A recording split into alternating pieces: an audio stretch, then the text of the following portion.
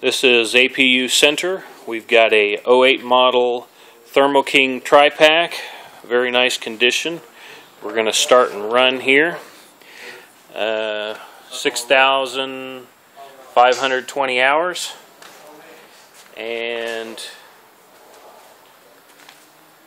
it's in very good condition. Ready to go.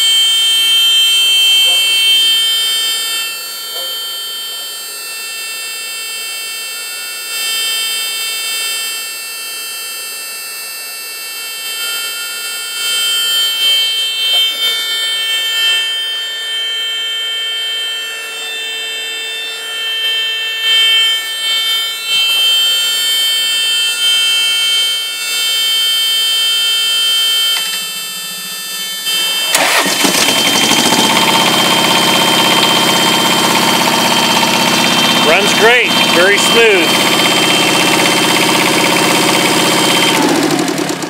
Call apucenter.com at 417 353 5665.